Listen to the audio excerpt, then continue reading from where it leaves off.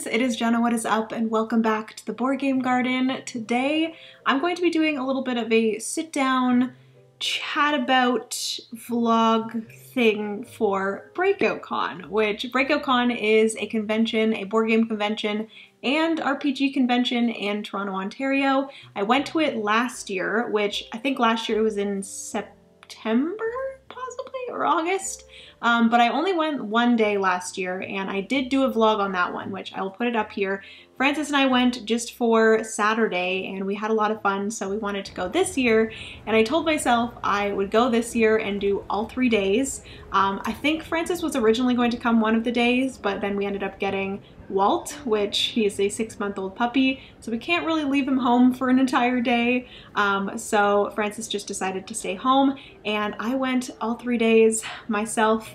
Um, I did have my friend Aiden, which he joined for Friday and Saturday. And then I also met a bunch of other people along the way. So I'm very excited to share with you guys this little vlog slash chat about Breakout Con and my experience and all the games that we played this weekend or this past weekend. So if you guys are interested in hearing all about that, then just keep on watching. Give this video a big thumbs up if you enjoy. Also comment down below any conventions that you guys are planning on going to this year, any that you have already gone to, your experiences with conventions. I'd love to chat all about that down below. Hit that subscribe button if you have yet to do so. We'd love to have you here in the garden. I say that so fast.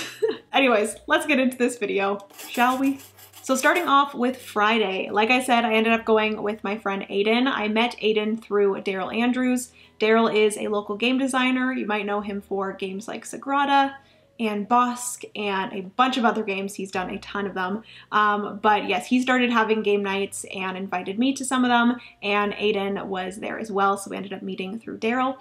And yeah, so Aiden wanted to join for some of it. There were some people in the Board Game Garden Discord, which if you guys do not know, I do have a Discord, so I will link it down below. I always have it linked down below. And we did have a Breakout Con 2023 chat in the Discord where we were chatting, everyone that was going, were chatting about what games they were bringing and what days they were going and stuff like that. So um, I did have everyone there that I wanted to see, but Aiden and I got there and we were just walking around, seeing different things, and we sat down to possibly start playing a game. And two of the people that I was chatting to in the Discord, um, one was Stephanie and the was Lex. They actually came over and um, introduced themselves, and I was so, so happy that they did huge thank you to you guys for doing that because Aiden and I were like, we don't know what to do. And it was really nice because we ended up hanging out with Stephanie and Lex pretty much for the entire rest, yeah, for the rest of Friday, which was really, really nice. So we ended up sitting down with Stephanie and Lex and we got to our first game, which was Small Islands. Small Islands was one of the games that Aiden brought, which I brought a bunch of games to the con and so did Aiden. And we did like haul them around the entire time. And I think we ended up playing maybe two of the games that I brought and two of the games that Aiden brought. So I do wish that we learned more games before we went to the con. Um, this is something that I've been thinking about um, going forward for conventions. I think I want to make sure that I know the games before I go because everyone like talks about how conventions, oh, they're a great place to like learn new games and try new games. But it's a really difficult environment to learn new games in with like all the noise and the people and just like everything going on. It's so hard to sit down and like read a rule book or you can't even like watch a how to play video because you know it's so loud in there. So I definitely think going forward I want to just make sure that I know the games that I'm going to be playing at a convention um, and not expect to learn any new games, um, only if like the people that I'm playing with know those games and can teach me. I think someone teaching a game is a lot easier to do at a convention than everybody at the table learning a game that nobody knows how to play, if that makes sense. So yes, we ended up not getting to play a lot of the games that we brought because we didn't know them and we couldn't find anyone that knew them. So yes, Aiden did know how to play Small Islands, so we ended up playing that one. It's just a really nice, light, um, tile laying game where you are trying to fulfill these contracts. Um, at the beginning of your turn, you have three cards that you get given, and each of them are going to have some sort of objective that has to do with um, different icons being on specific islands, I guess. Um, and you are going to be picking one to score for that round, one to put to the side to score for the next round, and then one you discard. And you're trying to draft these tiles and place them in a way to create these islands that follow your little objective card. And then once everyone has placed, I think, two of them or something like that, I think there's actually like a little stack of like six different tiles. So once that stack has depleted, that um, round is over. One person has to place their ship, which needs to be surrounded by anchors or harbors to score different points, and then everyone scores for that specific objective card for that round based off of the islands that they've built buildings on. Um, it's a very fun little, not set collection, but like tile laying contract fulfillment game. I really enjoyed it. I did horrible. I think I did get last, um, but Stephanie did like so good. She like killed us all and it was pretty awesome. But yes, that was our first game. It was Small Islands. And then Stephanie actually brought a few games as well. I think she brought um, Merchants, Dale of Merchants, which I really still need to play. I have it and I want to play it very bad. Um, so Dale of Merchants, and then she also brought Doodle Dash. So we ended up playing a quick game of Doodle Dash before we headed out for some lunch.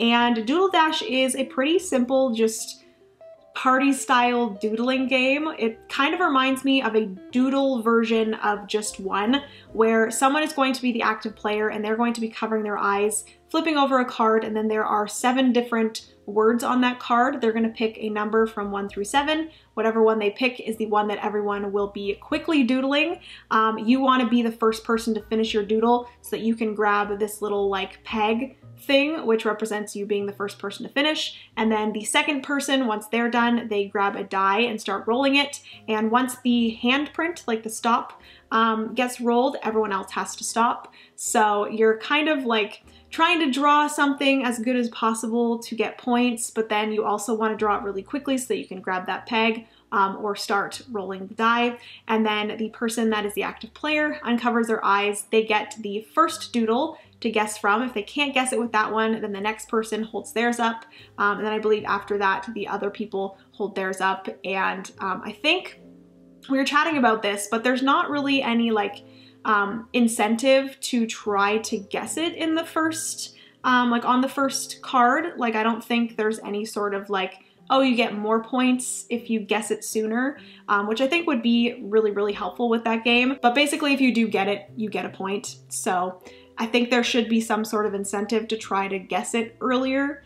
Um, like if you guessed it from the first clue, you get three points, second clue you get two, and then for the rest you get one that sort of thing. But overall, it was a very fun little party game. Really enjoy it. Um, very funny because you're trying to draw things as good as possible in the quickest amount of time, and things just end up looking horrible. So yes, uh, Doodle Dash was very fun. But once we were finished with Doodle Dash, like I mentioned, we ended up going out for some lunch, and we went to this place called Chef's Hall, which was right across the street from the Sheridan, which is where the convention was. And this place was so cute. There was like a Mexican restaurant, but then there were some stairs up to where there was a bunch of different um, booths. And I believe Stephanie mentioned that she thinks that like all the booths are larger restaurants, but they also have these booths to kind of let people try out some of their food. So there were pizza, there was poke bowls, tempura, uh, boba, sushi. There was just a bunch of different um, little booths. I ended up getting a salmon poke bowl, which was delicious.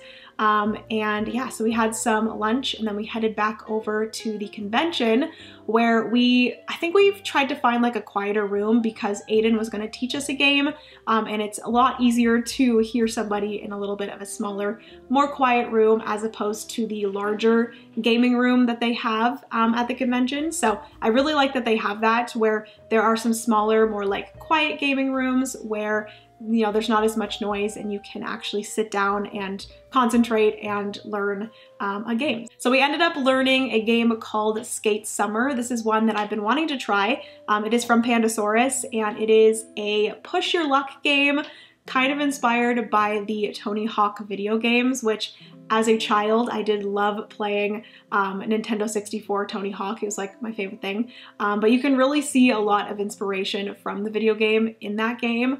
Um, but basically, it is a push your luck game where you're playing down these trick cards, and each trick card has an arrow some certain amount of arrows going both ways, and your goal is to keep yourself balanced um, so for example, if I played a card and there were three arrows going to my right, your left, I would move the little balance chip three times to the right. And then after every time you play a trick card, um, dice get rolled. And that's going to actually tell you um, how many in a certain direction the balance marker will go. So there's a little bit of luck aspect in there and pushing your luck to see if you can stay as balanced as possible. If you get off balance too many um, spaces in one way or another, you do bust or you bail.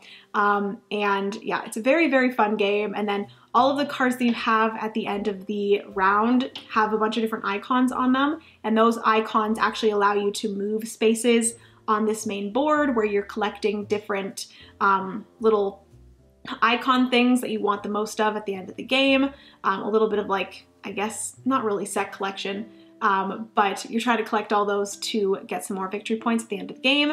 You're also trying to get some upgrades for your skateboard to allow you to do different things. It's very fun, and I would definitely put it in the same group as like Cubitos and Quacks of Quedlinburg, all of those games, which are just light, fun, actually they're not really light, they're like medium fun push your luck games. Um, I really, really enjoyed Skate Summer. So we ended up finishing up with Skate Summer and I think I actually forgot to mention, but I think like in the middle of Skate Summer, a guy came around with a box because he was looking for players for a game called Captain Sonar, which Captain Sonar is just like a big real-time team-based battleship and we ended up saying, yeah, we'd love to try it. Um, I've heard of it before. I think Tim Tim Chuon was mentioning Captain Sonar at one point, but um, I was like, yeah, I'm down. So um, the guy that was actually coming around was Alan. He is now part of our Discord and he is the nicest guy. So huge shout out to Alan. We ended up finishing up Skate Summer and then meeting in the larger room for the game of Captain Sonar. And the cool thing is that one can be played up to like eight players. So it's a really fun one to do at a convention. It's a little bit chaotic because it is a real-time game, but you're in two groups and each group has um, usually it's best with eight players because there are four different roles on each team. So each person gets a specific role. There's a captain, an engineer, a first mate or something like that, as well as a like radio person. Um, but the first time that we played it, we actually played this twice. The first time we played it, I was the engineer, which was kind of this fun like roll and write style thing, I guess, where you're Xing off things, but if you Xed off all of like connecting things, you could race them again.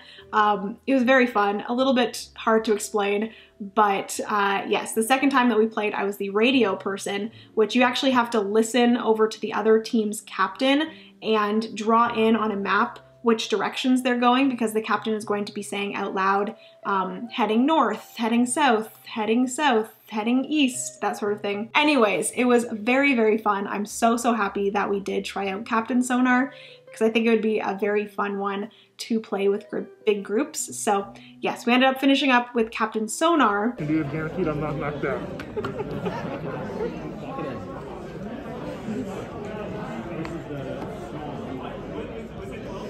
Everyone ready? We're ready. I'm ready. Really? What of all words? Right? Oh. Uh, open your eyes. this yet. Uh, no. Yeah! And then there was a guy that was playing Captain Sonar with us that actually had a like mentor um, meeting with some game designers for his game that he was designing. And he actually was asking people if there was anybody that would be willing to come and play the game so that he could kind of show the designers the gameplay um, with people because it is more of like a party game. So we ended up going and helping him out with that. And his game is called I Am Shala Shala. And it's this just fun memory party game. Um, I had a lot of fun with it. I was laughing extremely hard with that game, um, but it was very fun. And I believe he's hoping to bring it to Kickstarter at some point this year, but um, I will let you guys know. It was fun. Um, but yes, I think that was everything for, oh no, it wasn't. We actually learned push before we went to the playtest I am Shala Shala thing. Um, so we learned push, but then we had to go and help him. So we actually, after that, came back. We played a game of push, which I love push. It's one of my favorite, like, push your luck card games. Um, I taught it to everybody and everyone seemed to like it. So um, we ended up playing that for the last game, and then that was pretty much everything for Friday. Aiden and I headed home. We stopped at Burger's Priest and I got this amazing bacon, cheese, and onion hot dog. And it was a fantastic ending to a long day. I was very hungry. A lot of people say that like it's good to like remember to eat during cons and I can see why because like you you just get into gaming and you forget that you know you're a human you need food um, so yes i definitely did not eat enough um, that weekend, but uh, I will learn for next time. But yes, that was everything for Friday. Moving on to Saturday, Aiden ended up coming and picking me up again, which Aiden, if you're watching this right now, thank you so much for driving almost the entire weekend. I, I really appreciate it. Um, but yes, he picked me up and I think we got to the con a little bit later than we wanted to because there was a bring and buy, which the Breakout Con bring and buy is probably one of my favorite things. Um, I've been saving up a little bit of money to spend on some games there. So we ended up going to the bring and buy. It opens at 12. And if you guys do not, or if you've never heard of like a bring and buy, um, the way that Breakout Con does it is at 12, the people that bring in the games they set three different prices. So at 12, each game will have a certain price and then it'll go down to a certain price at two and then again it'll go down at four. So depending on how long that game stays there, um, it'll be cheaper by the end than at the beginning. So we went in at 12 just to see what was there. There were a ton of games and there was actually a lot more still there than I thought because we were like a half an hour late, but there were still a ton of people there, a ton of games, and we just looked around for like an hour. I got some games, which I'm going to show you guys at the end of the video, but I got some games then and then I believe we went back at 2 again, which I didn't find anything. And then I think I got one other thing when we went back at four. But our initial look around, I got a few things, and then we actually ended up going to another quiet room, and I met Aiden's friends, Mike and Ruby, which they were so nice, and I wish that I was able to spend more time with them. Um, but we ended up playing Skate Summer again, and I think we got like halfway um, through our game of Skate Summer, and I ended up having to leave because I had a, another game scheduled with Daryl and a few other people at 3. So I ended up having to leave um, halfway through Skate Summer, which I was really sad because I I really enjoyed Skate Summer, and I'm so happy that I was able to play it uh, one and a half times this past weekend. So um, once I left there, I went and met up with Daryl, and we actually had a game of Rolling Heights planned. So I ended up playing Rolling Heights with Daryl, um, Sen. Sen is, I think, one of the designers of Mind Management um, and a bunch of other games, but that's the one that I know him most for. Um, and then we also played with Andy Kim, which Andy is actually the designer of this game right here called The Spill, which he had a copy and I told him that I hadn't played it before, so he gave me this. So thank you so much, Andy. You're so nice. Um, but I'm very excited to try this one. It is a um, cooperative game, so I'm excited for that. One to four players. Ooh, I can play it solo. Maybe I'll play it solo, but I do think that Francis said that he was interested in trying that one too. But yes, we ended up playing Rolling Heights. Um, it kind of sucks because we started playing Rolling Heights. We got about halfway through yet again, and Daryl said, hey, do you guys want to go and check the bring and buy quickly before it ends? Because we went to like the last drop, so it was at four.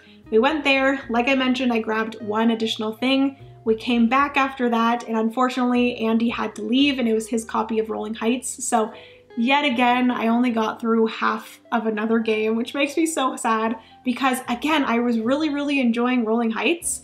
I saw Rolling Heights from AEG and I'm like, oh, that looks pretty cool, but we started playing it and it is a fun game. Basically, you're like rolling these meeples and based off of where these meeples end, if they're on their back, they're useless. If they're on their side, they're working, but if they're standing up straight, they're working hard. Um, and you get resources based off of how hard they're working. So if they're working hard, you're getting two resources, but if they're, you know, just working on their side, then you get one resource. And you can use those resources to build buildings, and then once you've built specific buildings, you can put your little color on top to represent that you um, were the one that built that building, and then you get points for that, and some more meeples. There's a bunch of different colored meeples that get you certain things throughout the game. Um, it was very fun. And I'm a little bit sad that we didn't get to finish it, so I do really, really want to play uh, Rolling Heights. So yes, we finished off our game of Rolling Heights. Like I said, we did not finish it. We got like halfway through and then everyone had to leave.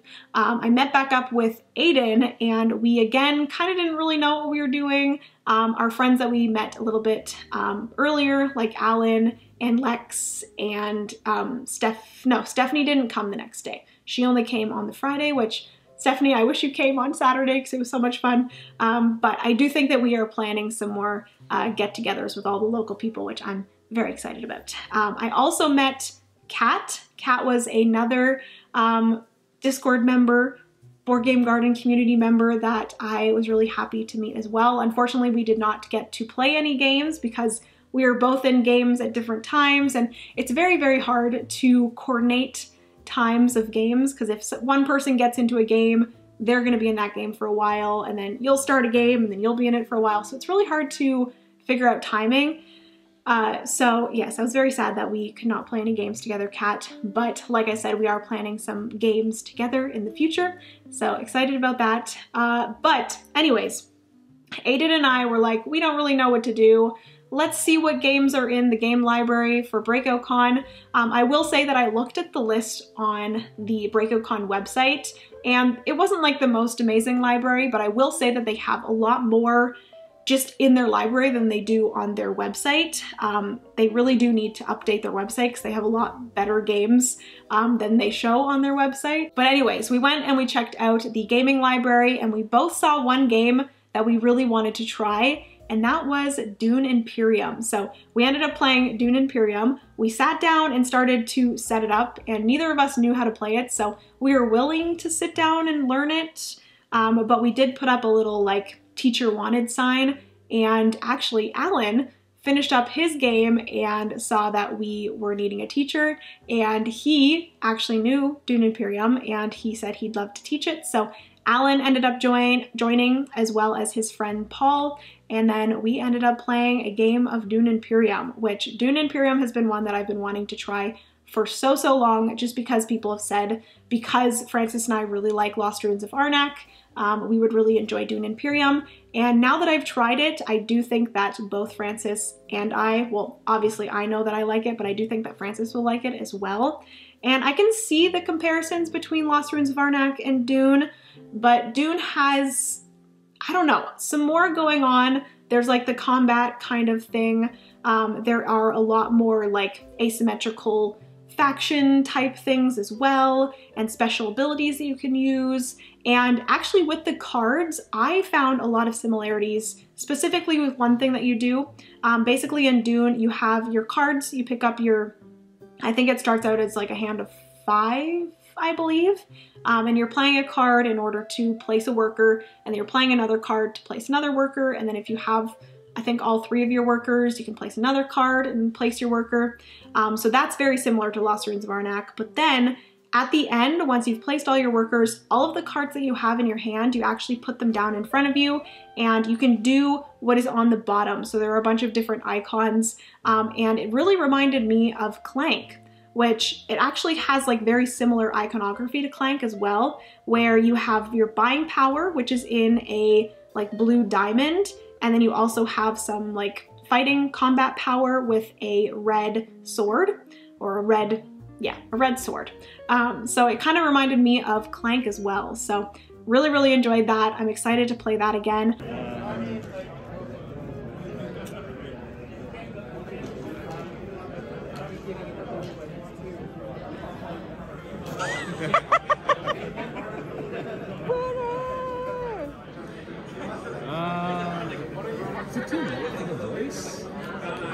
Victory. He's like the friendliest possible flex. Because you're helping her. It's true. Big asshole right there. I'm having a moment, pardon me. Uh, I will also mention that while we were playing Dune, there was a gentleman that stopped and said like that he enjoyed my content and that he was a patron of mine. And honestly, that like made my entire night. I was like so happy after that. So whoever you were, I believe you said your name was Jason. Thank you so much. I really appreciate you and just you saying hello. I wish we had time to like chat more and like play a game. I think I've already said all this to you on Patreon, but thank you so much. I really appreciated that and it just made me so, so happy and it like warmed my heart so much. So thank you, thank you, thank you for that. But we ended up finishing up our game of Dune Imperium and then I think it was like 9 p.m. at that point and I forgot that I had to check into my hotel. so um, I kind of had this crazy moment where all of my games, we kept some of my games in Aiden's car, which Aiden was leaving. So we ended up taking all of the games that I purchased out because I needed to bring them up to my room. So he actually went and got his car, brought me more of my games, and then um, actually we forgot that we had to take back Dune Imperium to get his license back. So I had to run upstairs and get his license for him because he was driving home. So we obviously needed his license. And then we brought my games up to my room. It was just a very chaotic moment of like him trying to get his car and then bringing me my games and then me checking into my hotel. I thought I could check into my hotel, but then I needed my ID, so I needed to wait for him to get here. It was very, very chaotic. But after that, I got up to my room, I checked in, put all my games into my room, put all my stuff into my room. I'll show you guys a little bit of my room here on some b-roll. It was a very nice room. I think it got like upgraded to like a suite, which was nice, um, with its like huge king bed. It was awesome. Um, but yes, I ended up putting everything back into my room and then tidying myself up a bit. And then I went back down with one game, actually two games. I went back down with Earth as well as Scout. And I met up with Lex, Alan, and Paul again. And the big main room was closed at that point, but they did have another room that you could go and play games 24 7. I think like it was open all night. So we ended up going there and we ended up deciding that we all needed some food. So Alan went out and got pizza, which thank you so much, Alan, for that pizza. It was great. We got it from a place called Pico and it was very good. Some fantastic, fantastic pizza. I don't know if it's just because I was like so hungry, but we had some pizza and then I think we played a little bit of Sea Salt and Paper, which I've been playing a ton of on BGA. Definitely recommend it. It's a fun little um, card collection, set collection card game. Super, super fun. I wish I picked up a copy because I think they had some available at Breakout Con, but I didn't get it. Um, but yes, we did that, and then we ended up getting out Earth, which I was so excited to finally um, be able to teach some people Earth. Um, this was my first time playing it physically. I played it a ton on, or first time playing it physically multiplayer. I played it a ton solo, and I've also played it multiplayer on BGA a bit as well, but this was my first time playing it physically multiplayer, and it was so, so much fun. We actually ended up playing Earth until like 3 a.m., 3.30 a.m. So that was quite a late night. So I was happy that we were able, or I was able to have that hotel room so I could just go right up to bed. So once we were finished with Earth, which Earth is fantastic if you guys have not seen it, I'm sure you've heard of it because it's been very popular recently, but it is a really great tableau builder um, where you're getting different cards and you're playing them down into this 4x4 tableau and getting to do different abilities on these cards um, and getting sprouts and growing these trees on these cards in order to get victory points um, and doing a bunch of different like objectives based off of these cards that you're putting into your tableau. It is just everything that you get to do, you're getting to do some things on other people's turns and it's just very satisfying the amount of stuff that you get to do just constantly. You're never really like waiting for anybody, which is nice. Um, but yes, we ended up finishing up the game. I think I got second in that.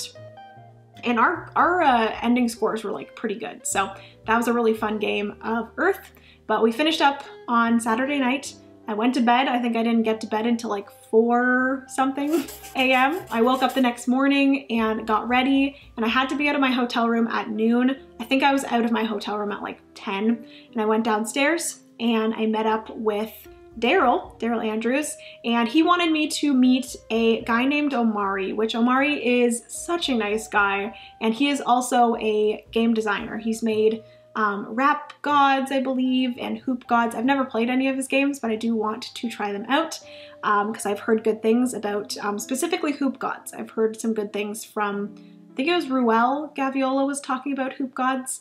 Um, but yes, I ended up getting to meet Omari and Daryl. And then we also played um, with Alan as well. We played Azul, which I played Azul for the first time physically. I've never played the original Azul physically. I've only played it on BGA, so I was really happy to finally get to play Azul physically. It was very fun. Um, Daryl had it out for me the entire time, which is fine, but it was quite the funny game of Azul. And then Alan actually brought No Thanks, which No Thanks was one of the like older games from my past video that I mentioned I really wanted to try. So we played No Thanks. Very fun, quick game. Really enjoyed it. Did horrible. I think I got a score of like 100 and something, which you're trying to get like the lowest score possible. So that was funny, but I'm sure I will get better at it eventually. So we played No Thanks. Very fun game. Um, and then I think we, oh yeah, we ended up playing another game of Captain Sonar. So we played it with a bunch of different people, but it was a great other game of Captain Sonar, and uh, that was a good game. Um, so I played that, and then Tanya actually purchased a game called Monster Voices, which is just a fun little like game where there's an active player and they have to cover their eyes, and then there's a little grid of a bunch of different monsters, and then each person gets a monster secretly that the active player has to guess um, based off of the monster's voice. So there's a card that's flipped that is like a little saying, and you have to say it in the way that you think that your monster that you're trying to get the active player to guess would say it in. Um, so it's a very goofy game, one that I feel like some people might not like because it's a little bit embarrassing. Um, but it was fun. It was a fun little quick game to finish off the con. Uh, but once we were finished with that, we did have to leave. We, I think we left at around three, and then we had a lunch reservation at, I forget what it was called. Uh, Gyu-Kaku, I think it was called. It was like a Japanese barbecue restaurant. Oh my goodness such good food. I really enjoyed that. I think that was my favorite meal of the weekend. Um, I didn't realize that there was Japanese barbecue. I've only ever been to like a Korean barbecue, but it seemed pretty similar where you're cooking the meat on a little grill. Um, there were some really, really yummy like gyozas or like dumplings that I had as well. And I tried some Szechuan, Szechuan peppers. I think that's what they're called. Uh, but overall, it was a fantastic, fantastic meal. And then Daryl ended up driving me home and that, I believe, is everything that happened during BreakoutCon. It was so much fun. I think my favorite game of the weekend was definitely Dune Imperium, followed closely by Earth because I've been really, really enjoying that one. And I think third was most likely Skate Summer. I really enjoyed Skate Summer as well. Um, but yes, that is everything for what happened and what we played at BreakoutCon. But now I think it's time to quickly show you guys the games that I purchased, which I already showed you the spill. Huge thank you again to Andy for allowing me to take that home. But let me see here. Let's go from smallest to largest. The smallest game that I picked up is one that Michelle over at Second Star to Left, she's talked about this a ton. And this is Botanik, which I just love the way that this game looks. The like robot on the front is like not the cutest thing, but I do love all of the like plants and stuff. And you are, I think like it's a tile placement game where you're like building this like robot garden, I believe, um, which is very fitting. So I ended up picking this up. I think it started off as being like $20, but I picked this one up at the end when it was very cheap at four and I got this for seven bucks. So Botanik for seven dollars. I feel like that's a pretty good deal and I've heard a lot of amazing things about this, um, especially for the solo. So I'm excited to try out Botanik. The second game, this was actually the first one that I saw like immediately when we walked in. I think you guys will probably see it on the b-roll. But immediately when we walked in, I saw this and this has been a game that I have been wanting because it's a game that I had in my childhood. And even like my sister has been wanting this as well because we just distinctly remember playing it when we were kids and we could not find copies of it. Um, or whenever I did see a copy of this on Facebook Marketplace, people were selling it for so expensive. But the game is Nightmare. Nightmare is my childhood. I loved this game so much. Let me know down in the comment section if you guys remember this game you would like play a video on the TV of this really creepy guy, which I'm pretty sure he's on the back here. There he is. He would be on the screen and he would scare the crap out of you. Um, and it's just a very, very fun game. I don't even remember how it plays, but I'm excited to play it again with my family. and just bring back the memories of playing this um, as a kid. So yes, finally was able to pick up Nightmare. I think I got it for like $25, so that's pretty good. Happy about that. It's a little bit of a weird uh, size box, so I don't really know where to put it. Maybe I'll put it just on like the top of one of the shelves. Um, but yes, got Nightmare, which I was very excited about. And then next up, this game is actually out of print. And Nick from the Brothers Murph always talks about how good this game is solo. And I finally found it, and it was only 25 or $35. And that is Ex Libris. So this is a like organizing books in a library themed game and I am so excited to play this. Nick has hyped this up and I am very, very pumped to try it out solo. So that is that. It is from Renegade Game Studios, which they do have one called Atheneum Mystic Library, which I feel like is similar, but not. Um, this one, you're like using cards for the books and stuff like that. And I think you're like putting them into alphabetical order or something. Not 100% sure, but very, very excited to try this one out. And I was happy to see it because like I said, it is out of print. Um, but I am hoping that they bring it back because it does look like a game that is different than others and the theme of like organizing books in a library is very unique. So yes, that is the second one, third, third one that I got.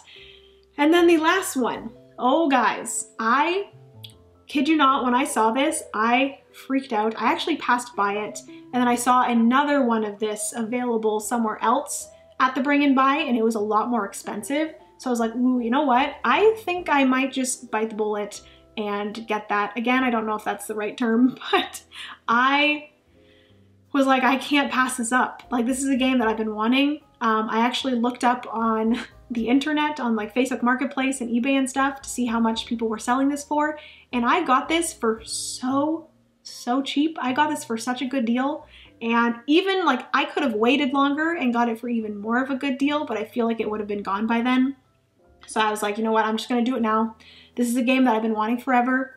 It is not really available very many places. They just recently finished up a Kickstarter for some more expansions of this. Um, but the game that I'm talking about is Merchant's Cove, which I got the base game. Ow, I just hit my face. I got the base game, and then I also got three expansions. I got the Oracle, the Innkeeper, and the Dragon Rancher. Oh my goodness, I am just like so excited. I want you guys to pause right now, go down in the comment section and let me know how much you think this was. Base game of Merchant's Cove, plus three expansions.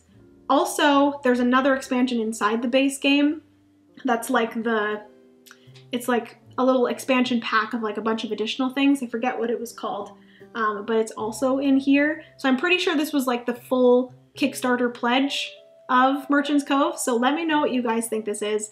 I did look up on Facebook Marketplace and eBay and stuff, and people are trying to sell this for like $250. And I got it for 85 bucks. $85 for Merchant's Cove, four expansions, I am just so, so excited. If I did wait, it went from 85 to 70 to $55. Can you imagine getting this for 55 bucks? That's crazy. Um, but I was like, you know what, I'm not gonna wait because I know it's gonna be gone. Um, so I finally got a game that I have been wanting for a very long time and I'm so excited to play Merchant's Cove. I've only heard amazing things about it. Basically everyone's playing as an asymmetric character and everyone's doing the same thing or like going towards the same thing but in completely different ways. The Oracle I believe is like a roll and write. The Innkeeper is like something to do with dice possibly, or there's a dice one in here. Um, there's a deck builder character. There's a marble type mechanism character. Um, there's just like a bunch of different base mechanisms for each character and I think it's just the coolest thing. Um, they also finished up their most recent Kickstarter of four additional characters so it's just crazy how many different characters you can play and I'm so excited. It can also play solo so I can play it solo and try out all of these different characters. Um, but yes, you're all going for the same thing which is Um, you're a merchant trying to sell different goods to different people, but you're getting those goods and creating those goods in different ways. So, oh, I'm so excited that I found this, and I'm excited that I decided to just go for it because uh, I feel like I got a fantastic deal. So, yes, that is everything for today's video. I apologize if it is a very, very long video, but I really wanted to chat to you guys all about all the games that we played, all the experiences that I had. Huge shout out to all of the people that I met at Breakout Con. Thank you guys so much for hanging out and being so kind and so nice. And I'm so, so excited to build these relationships even more. I met so many amazing people from the Board Game Garden community and just in general, so many amazing people. So thank you guys so much for making my Breakout Con this year so special and I'm excited to hang out more. If you enjoyed this video, please give it a big thumbs up. Also comment down below, like I said, any conventions that you guys have been to or ones that you want to go to. Um, hit that subscribe button if you get to do so. We'd love to have you here in the garden. And yes, love you guys so much. Remember, you're somebody's reason to smile, and I will see you in the next board game video. Bye, friends.